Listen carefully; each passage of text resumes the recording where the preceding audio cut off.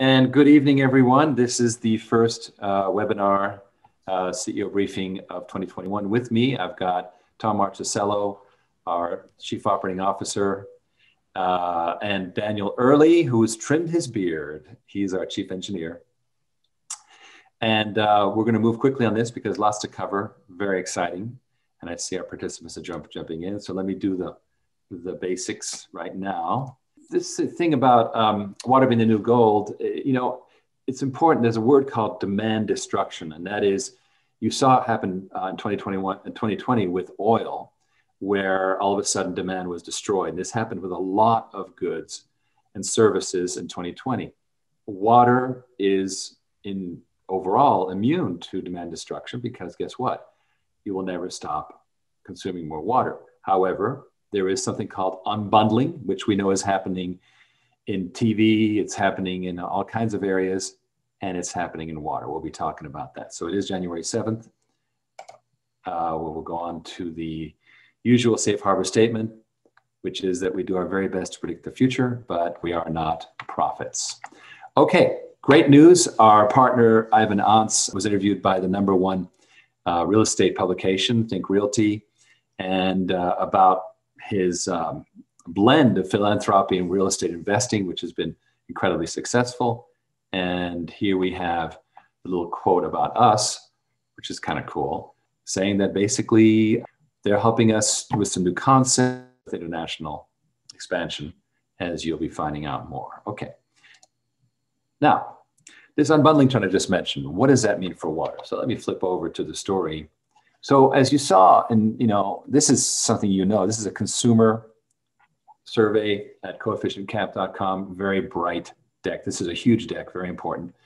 TV unbundling continuing. And then also another thing, unbundling of traditional banking for millions of users going into Cash App, Venmo, PayPal, et cetera. And, uh, you know, I spoke to you a few weeks ago about the Ant Group, Jack Ma's Ant Group. Unfortunately, that is going in a very strange place because the looks like the Chinese government is going to take over that both Alibaba and the Ant Group. But looking beyond the politics, because I'm, if you, I don't know about you, but I'm done with the politics. Um, we're really talking about things being unbundled, and this is happening in water. More and more treatment is happening at the point of use, and that's very important for where we're going with this. America's newest water safety challenge is something you've never heard of. It's not a dog drinking from a toilet, but it's something called biofilm. And there's just been a Legionnaire's disease outbreak. I'm going to play a quick video. Let me just um, stop share, set up the video. And this is a, a news piece of news that just showed up. More than 10 years. More than a decade is how long Juanita Watson has lived in the Rosemont Court Apartments on North Dekum.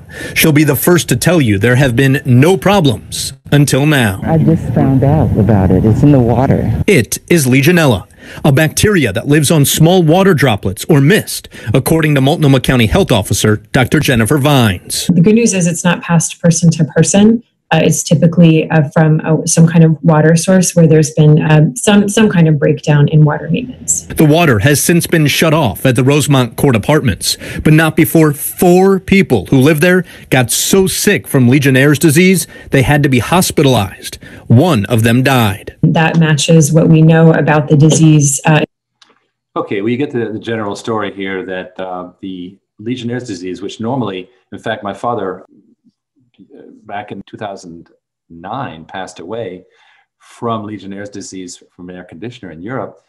Well, now it's being caught in the water. We're going to go on to discuss biofilm and water health. And so without further ado, I'm going to let Tom take over here. I'm going to pull up his presentation. Take it away, Tom. All right. Thanks. Appreciate it. Uh, well, welcome 2021. Holy moly, 2020. I don't think that uh, much to think about there.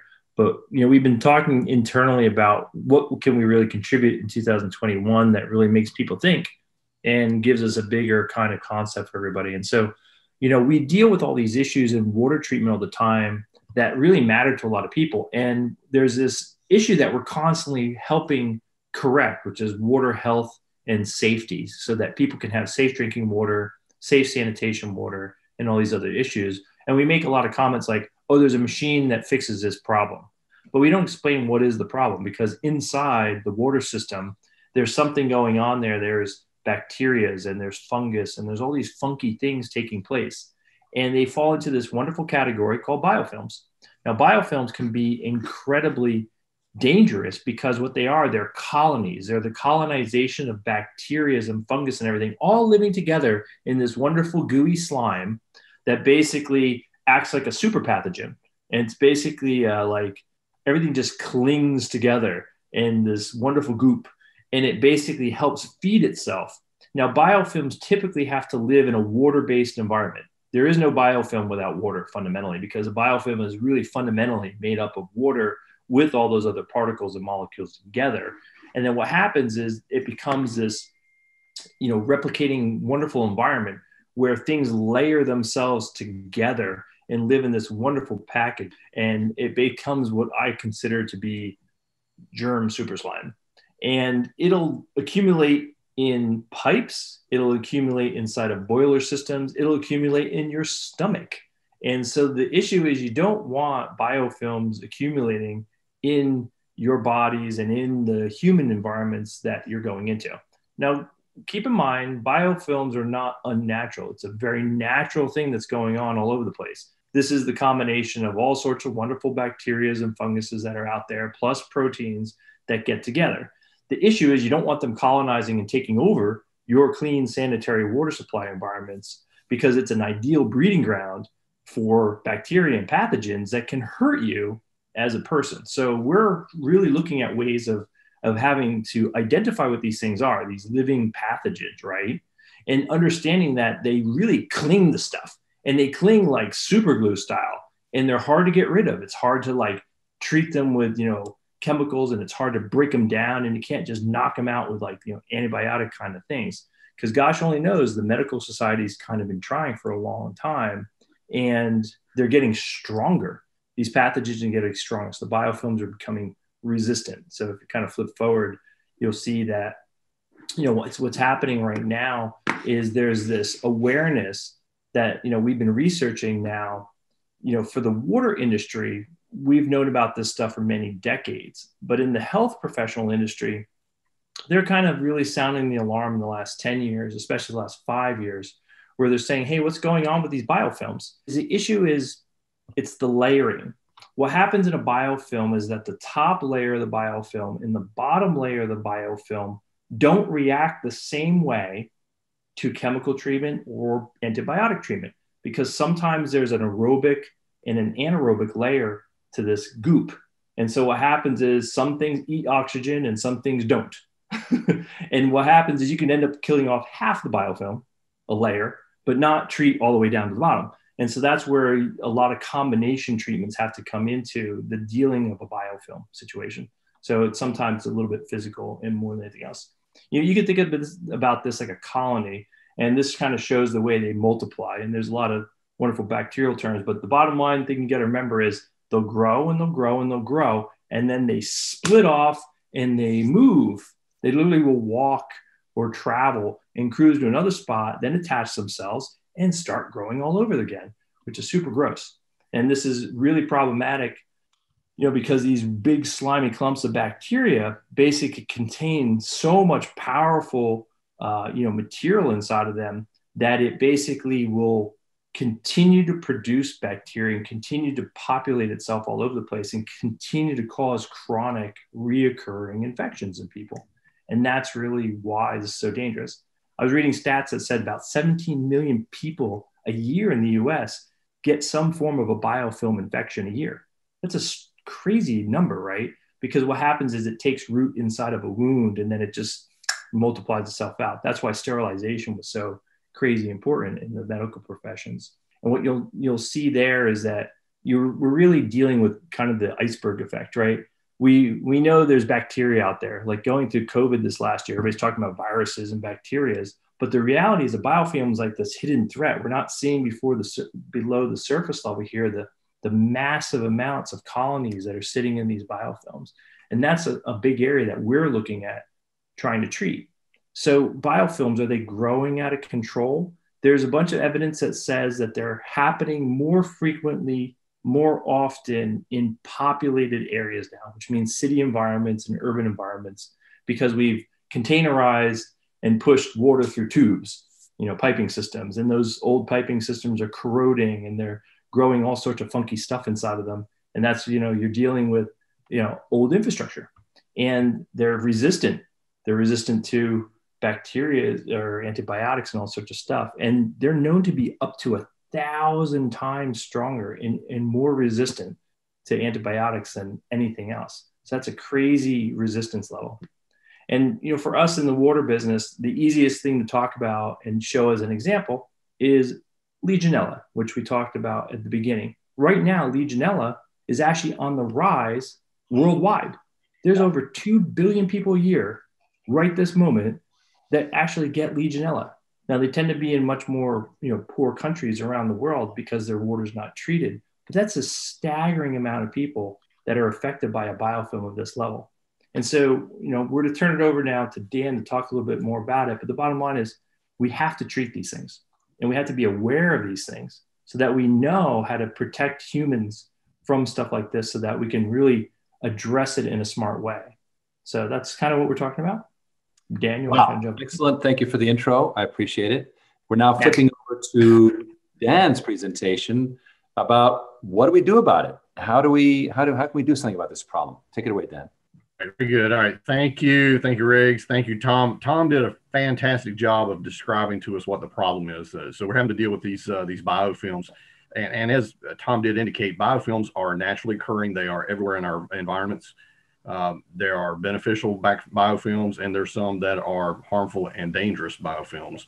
So when we think about biofilm, what is it that we're dealing with? Well, when it comes to biofilms in drinking water systems the thing that we see and as evidenced in the uh, the video presentation that um, that Riggs showed uh, a few minutes prior, it, it's very common to see uh, public drinking water supply systems succumb to the effects of pollution and the formation of biofilms, and you end up with Legionella, uh, Legionella bacteria and, and and disease and that type of thing. Very unfortunate, but it is the nature of what we're dealing with.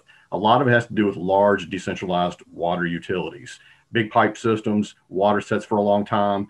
They have a mechanical failure or some sort of a natural uh, disaster or something kicks in that creates a problem.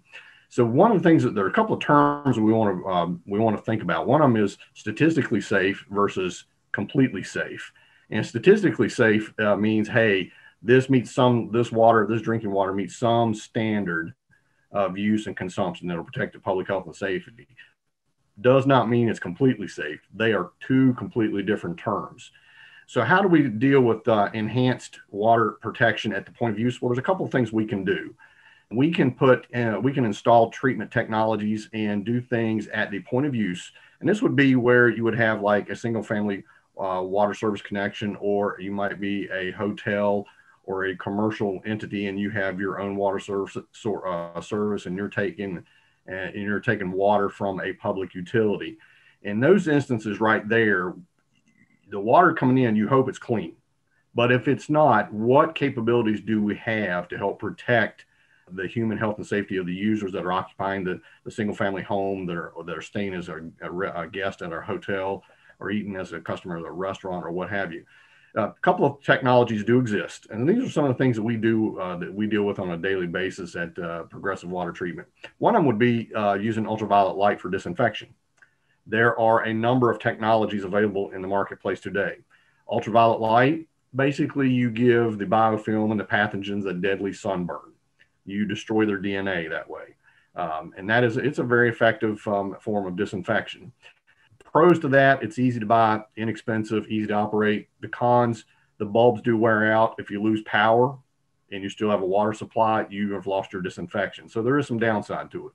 The other form of treatment is chemical disinfection. Been around a long time, does a very good job. Tom indicated that some of these biofilms or can be resistant, and to a certain extent, they can adapt and be partially resistant. But with enough chlorination, with enough chemical disinfection, you can sterilize your uh, pipe, your whole house piping system or your hotel piping system or what have you. Uh, the pros, uh, chemicals are very inexpensive, been around a long time. They're easy to use. The cons to them is that they are very harsh, uh, harsh on the equipment, harsh on the distribution and piping systems, especially in older uh, facilities. They're messy, and there are some chemical byproducts that you have to deal with. Other types of point of use technologies uh, that we have, the best one that I think that we should look at and consider is a physical treatment technology. This is where we actually go after the particulate. We don't do it chemically. We don't do it uh, by uh, light radiation. We actually do a physical removal process. We're doing a filtration process. While a biofilm or a pathogen, it is a particle. It's very small. We can only see it through a microscope. However, we, it is a particle and we can remove it.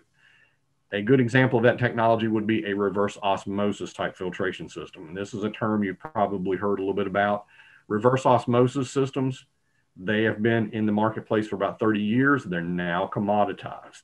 They are smaller. They've been able to scale these things down where they used to be mainly for huge municipalities and huge commercial operations. Now you can scale them down for the small flow end user. You can get single family home residential reverse osmosis units.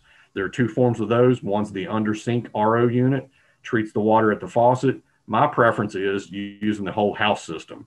Comes in from the, the public utility, you intercept that water, you do a reverse osmosis physical treatment process, and then you've protected your home. If you move to the next slide, the next one is large flow systems. And this would be, like for a hotel, a resort, or something that may have access to public water. In this instance, if they want to protect from Legionella and other types of uh, forms of water pollution common in your distribution system. We just scale these systems up. They tend to be much, much more robust. I mean, we're talking very, very advanced technologies. They are, have remote monitoring and alarming. It's a very effective way. So, of all the three forms of treatment, ultraviolet light, chemical disinfection, physical treatment, physical treatment is the one that we like to look at and like to use the best. It does a good job of filtration and has ancillary it has ancillary capability, ancillary beneficial uh, impact on your water supply. So there is a there's a good A to Z overview of biofilms and pathogens and public water supplies and how you can deal with those things at your point of use um, uh, customer location. Back to you, Riggs. Well, thank you. And I wanted to I appreciate the, the, the overview there. And you're talking about point of use, which is, of course, especially of ours. How are we intervening right now in the biofilms area? Well, a couple of ways. Um, we are currently uh, delivering uh, point of view systems for um, some hospitality customers, uh, hotels, and they have recognized that they have got issues, they've got concerns about the quality of the public water coming into their facility. They want to have the best experience for their guests, they want to reduce risks. So, we're working with a number of different hospitality end user customers, and we're delivering reverse osmosis based treatment systems for those. So, that's one example essentially what we're saying is that the reverse osmosis that we are specialists in is something that that is you know probably the very best way to go. And and that's what we do every single day. I think what you're it saying. is. It is. We the, the guys down in mckinney at progressive water treatment experts at doing reverse osmosis uh, this is amazing technology and it's affordable. It's not like uh, you're not like you're not buying the cadillac today. You're buying the chevrolet and it's there. And it's very it's available for everybody I love it. And the, the reason it works is because of the size of the micron size. Because when you're doing filters and ultra filters, the smaller the filter particle space, the bigger particle can't get through it, so it gets caught and then pushed away. So then those bacteria don't make their way through. A reverse osmosis, it can get salt out of salt water, so it certainly can handle small size particles. Thank you, gentlemen. I appreciate it. Well, I want to have some more reports. You know, we've been uh, talking about building an Origin Clear fund, and I want to give you the latest update on what's been happening here. As of 7th of January, we now have a second memorandum of understanding in hand. This one's for 2 million. So we've now uh, gotten commitments for $3 million worth of investment. And I will be uh, meeting the investor uh, in Miami, I believe, in later this month or early in February and finally, the $6 million one one is still in the air, but is likely to follow the $12 million one. So, all in all, we're trying to build a $10 million fund. Why? Well, the new, new thing is really what's called water as a service, where companies do not pay for their uh, machines, their system up front, but they pay the bill along the way, the same way people rent houses and, and so on, and the same way that you pay your water bill to the local city, right? Well, now that companies more and more have to do their own systems and are forced to rely on themselves because infrastructure has just fallen apart. I mean, look at what's happened. The stimulus bill had a total of $6.9 billion for both energy and water the water alone is falling $100 billion behind every year. So the central infrastructure is falling apart, which is causing this unbundling that I've been talking to you about. And so as companies, businesses, ind- industry, agriculture, et cetera, have to start doing their own treatment, they lack capital. And this makes it very, very slow. Tom, you, you've been living through this, this deal with the trailer park in Troy, Alabama, which is a great deal but it's when is it going to happen? Why? Because in this case, they chose to go with commercial leasing, blah, blah, blah. The point is, if we can build a fund that has capital that allows people to just sign on the dotted line and they have uh, maybe it's a 15 year commitment, whatever it is, but they can always exit because remember, modular water systems means portability. So it's important that people know that they can get out. Now, of course, there's it's not done for free. They're going to give up their security deposit, et cetera. But it's much easier to get people into something that they can exit. And that's where we come into this concept of modular water systems, our technology, combined with pre financing. And now all of a sudden you have the ability to just rip through the whole point of use water treatment industry. So this is really, really huge for us. And I'm working flat out to get this done. We are putting it together as I speak in terms of the actual uh, subsidiary that will own this, um, that will hold this capital. Basically, it's going to be kind of like GM Financial or Toyota Financial. These are the captive banks of these auto companies. Well, we are building a captive bank for our deals. Obviously, it'll do great things for our deal flow. It'll mean revenue for progressive water treatment. And it will also mean that our velocity will speed up because people don't have to come up with money up front. So this is very strategic for us this year. And it's probably the number one thing that will drive what I want to do, which is to uplist, hopefully this year or later this year, to a senior exchange like the NASDAQ. And that is as you get the money into this fund, even though it's a, it's a uh, independent fund and well secured and so forth, it is ours. So it's this, this is all asset. And what you need, number one, is to get on the NASDAQ is assets. So if we can have assets, then it's 90% of the challenge. So stay tuned on this. It's going very, very well, and we will be doing much more. Okay, so I'm going to just get into a little bit of how you can participate in the good stuff at Origin Clear. Now, I want to say that there is an unaccredited offering. We don't talk about it much in this briefing, but it's wonderful because I've got I've had people invest up to fifty thousand dollars in this uh, offering, but the minimum is five hundred dollars. They don't have to prove that they are accredited, and so that is a wonderful thing. If you just go to originclear.com, the big red thing at the top, you can choose. You can say I'm not an accredited investor. It'll take you there, and I would love you guys to invest on that. But the strategic one is what we call the get paid to wait offering. And that is only for accredited or non US investors. By foreign, we only mean that they're investing from outside the US. They don't have to, they can be US people, but they have to be investing from outside the US. And I might also add that when somebody invests from outside of the country, we don't have to prove they're accredited for the US Securities Exchange Commission, but they do have to, comply with their local country laws. Now, here's what's great 10% cash dividend means that you, you get your investment goes in, you get your 10% cash dividend. We've now gone well over two years paying dividends on time. People love us for that. And when you're ready, you double your investment in stock priced at the later time. And this is huge because you don't have to worry about, oh, is the price down, is the price up? But by the same token, if the stock starts to run, then you probably should convert to stock and get the run. What, one other thing that's great is everybody gets what's called a warrant priced at five cents. So let's say, let's just assume the price of the stock is currently five cents. I think it closed at four cents today, but let's just say it's five cents.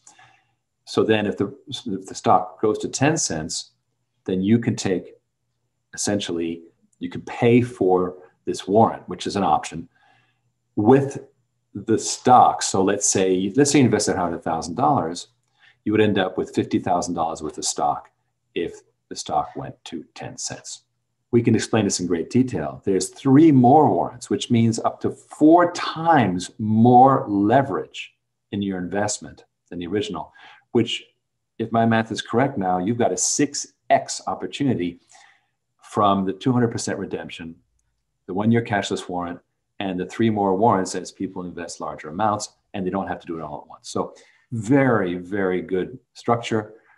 And you have lots of time. The, the last warrant, for example, is a five-year warrant. So it's a very way, good way to go. So also very important, if you're an existing investor, please call Ken because we have a method for you to double your investment without investing more capital.